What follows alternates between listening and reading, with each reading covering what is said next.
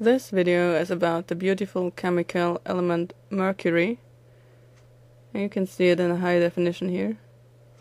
Just look at this wonderful shiny metal. The only metal that is liquid at room temperature. Room temperature is defined as 20 degrees Celsius, so even though it might be warmer in your room in summer, and for example gallium will melt as well, that doesn't count because room temperature is defined as 20 degrees Celsius, so this is indeed the only metal to be liquid at that temperature. And at standard pressure, of course, but we're just assuming normal room conditions here.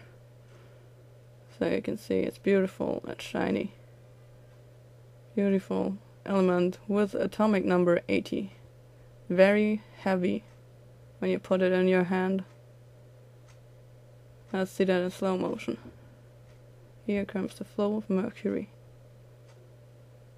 Splash. First drop hits the petri dish. More drops incoming.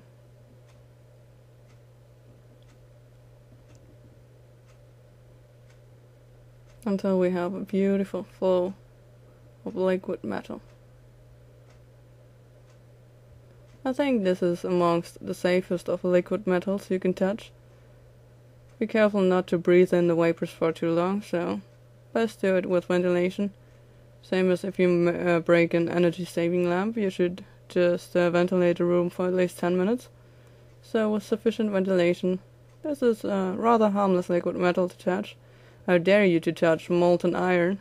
That would leave severe burns and probably have you leave your hand amputated if you keep it in there for too long.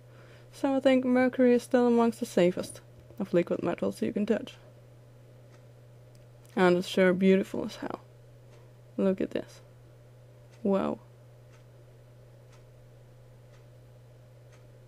Don't you just love mercury?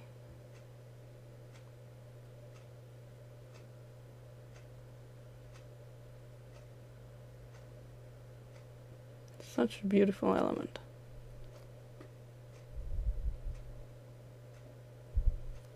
Mercury is used in many appliances, such as tilt switches.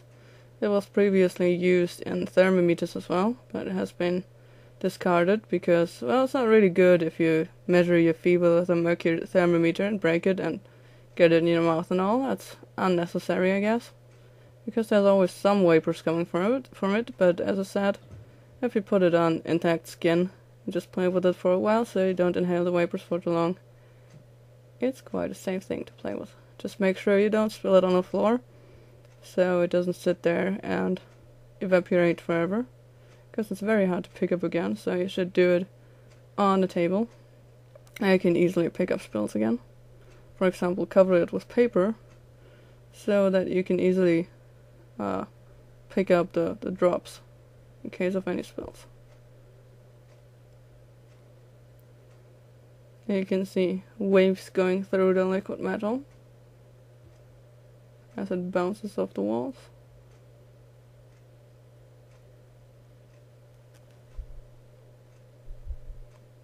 By the way, sadly, uh, mercury is not magnetic, so I can't play around with it in super magnets. Too bad.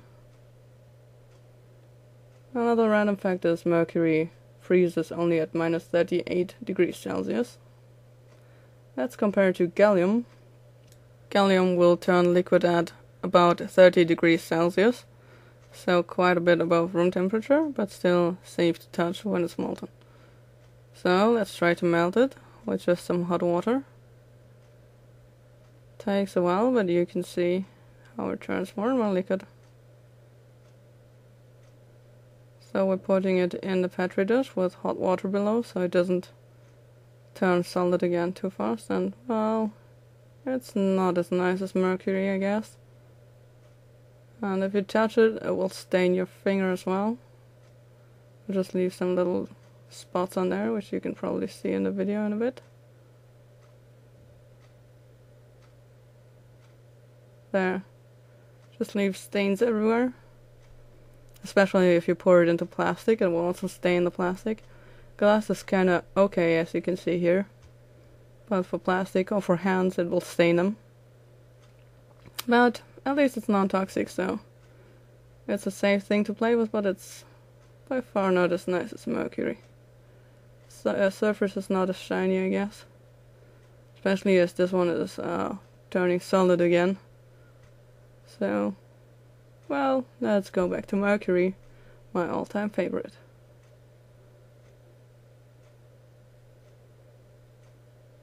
That looks great. Like a mirror. A mirror made from a potential poison. Beautiful, shiny, heavy. Very cold to the touch, of course. Because it is a very good thermal conductor. And really heavy. I can see it escaping, seeping through my fingers, seeping off my hand. Just such a beautiful substance.